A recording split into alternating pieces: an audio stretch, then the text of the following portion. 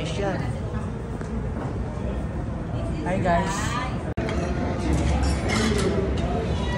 Kain na daw guys.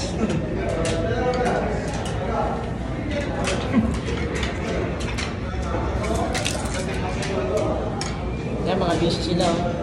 Ito, mag-exit na to. Pero babalik yan dito. Send ko na lang sa'yo, bro, sir.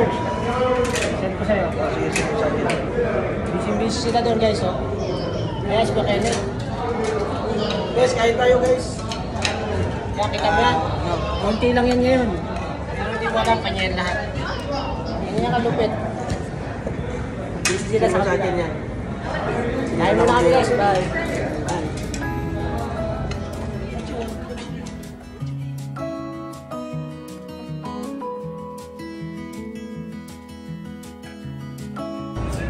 Tapos na si Galbo kumain. Ayan na. Ayan na nangyari.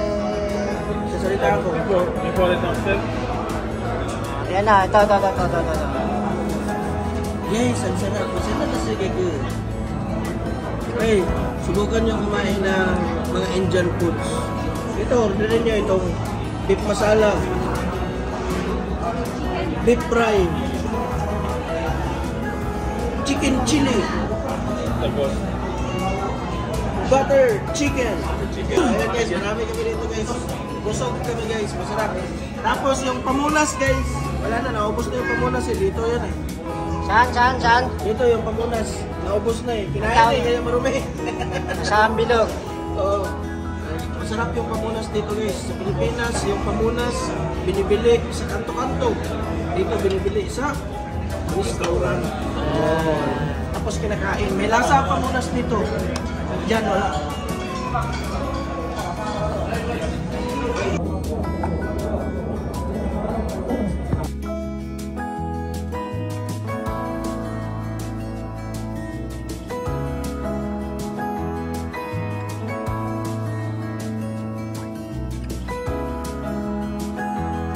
Yan, busog. Guys, busog na busog ako guys. Kain kami dito. Ayan o.